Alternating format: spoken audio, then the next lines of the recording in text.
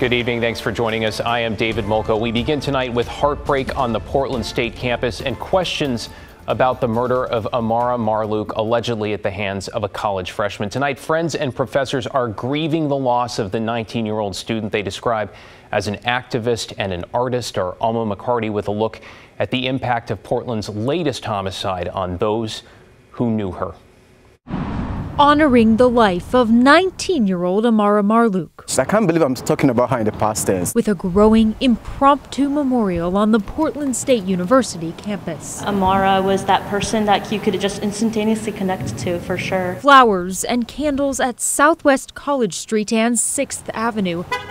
The place police say Marluke was gunned down, killed early Monday morning. I lose words because I, I cannot even express what what I feel in terms of how can you do it? How can you?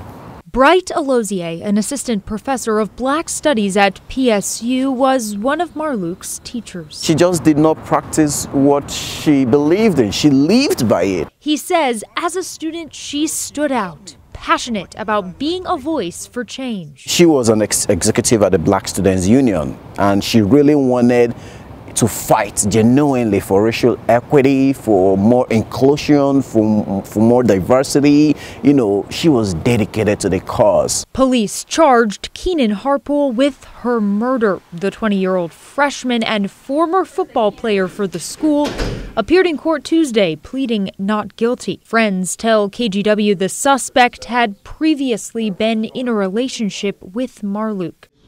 In the courtroom today, Marluke's family shared their pain. It's the mother, a mother's worst nightmare that somebody so evil that would take her life.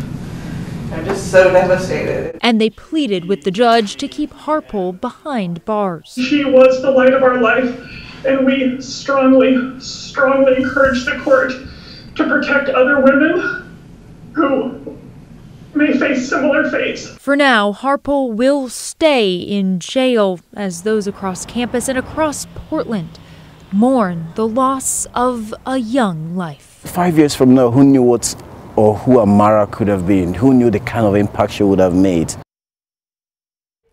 In a video statement, PSU's president also expressed the university's deepest condolences and sympathies to Amara Marluke's family, saying she showed great promise in using arts to share her voice and her compassion for community.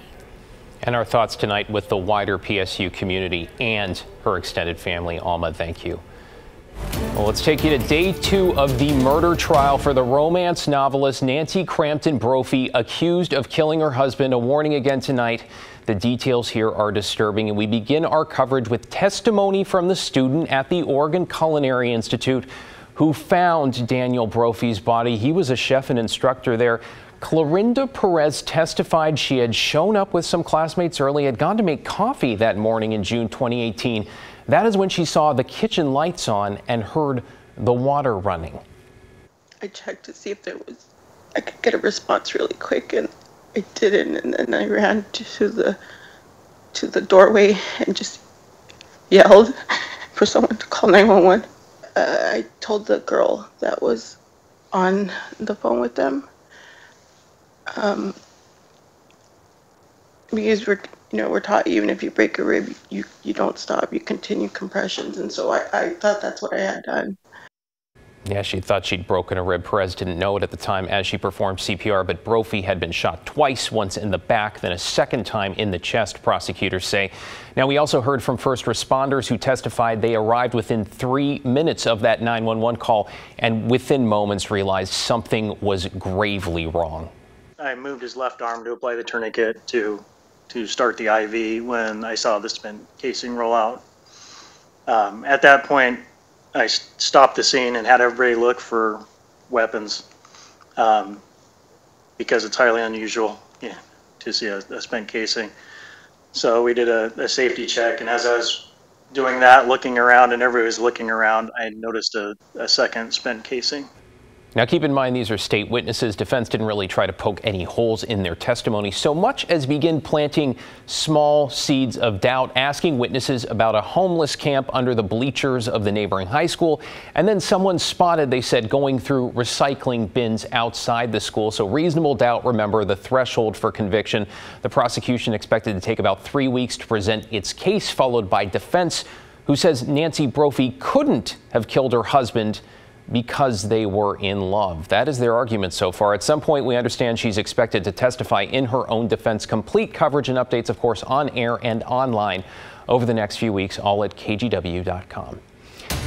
Well, new tonight, we have learned the sheriff of Columbia County was one of the officers who shot at a suspect in Scappoose, killing him. Investigators say the man fired at police first this was at Grumpy's Towing off Highway 30 last Thursday. Now the major crimes team investigating says Sheriff Brian Pixley and Oregon State Police Sergeant Chad Drew were the two who fired their guns. Police say the man shot dead. His name is Michael Stockton, was involved in some sort of disturbance at the tow yard.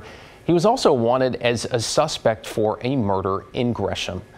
All right, let's get you caught up on tonight's other headlines. After 40 years, a local Jane Doe finally has a name. The body of the teenager was discovered in Clark County in 1980.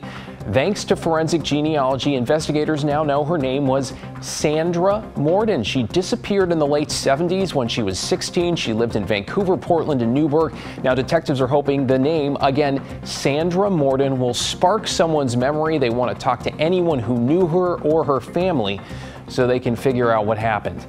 All right, tonight, new tents put up in protest of homeless camp sweeps in Portland have been swept themselves. Advocates constructed the large shelter Sunday in the North Park blocks. This is video from there. They say the city agencies came and cleared them out this morning. Advocates say the sweeps are not the solution. They were only standing up for people living down the street who they say were to, told to leave their camp later this week.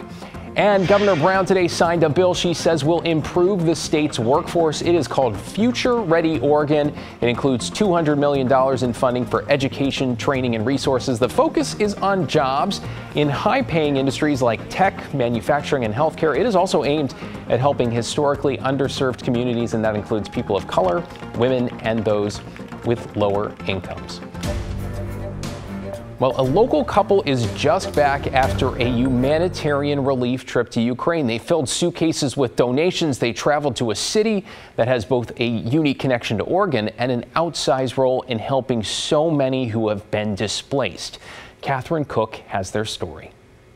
From sunflowers under a purple sky to the sun drenched homes nearby, these paintings embody the beauty of Uzhhorod, Ukraine. For Randy and Sabra Killen, it's a city they know well, a sister city to Corvallis, Oregon, where the couple lived for many years. They've traveled there countless times as part of that association, returning with mementos like these. But nothing compares to their most recent trip. You know, it's hard because, sorry, you see what happens there, and um, they're your friends. Those friends and many others in Uzhhorod are now hosting thousands of Ukrainian refugees from war ravaged cities like Kiev. Uzhhorod, which borders Slovakia and Hungary, is a safe place. Refugees can rest there for several days before resettling in nearby countries it's overcrowded. There's people everywhere. We were immediately thinking about all the people we know there and what can we do to help them. The Killens learned medicine was in short supply and medical equipment like stethoscopes.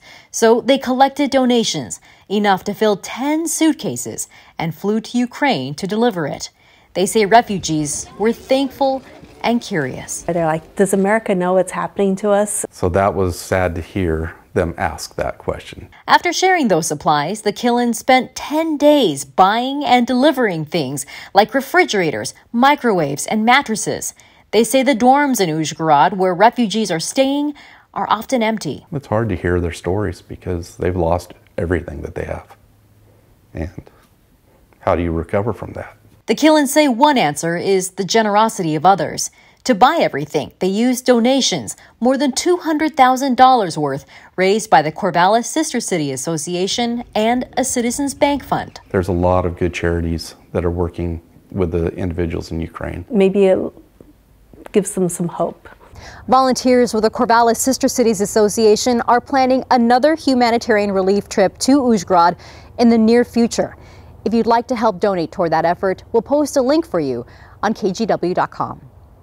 Catherine Cook, KGW News. One family, one suitcase at a time. Great to see. A reminder for drivers to slow down or pay up. PBOT has installed Portland's first intersection safety camera, and that means citations for both speeding and running red lights. The first one is now up and running. It's at Southeast Stark and 122nd. PBOT says that area tops Portland's list of high crash corridors. The camera is being tested this week, and for the first month, drivers are going to get a warning instead of a ticket, but you have been warned. Citations start on May 11th.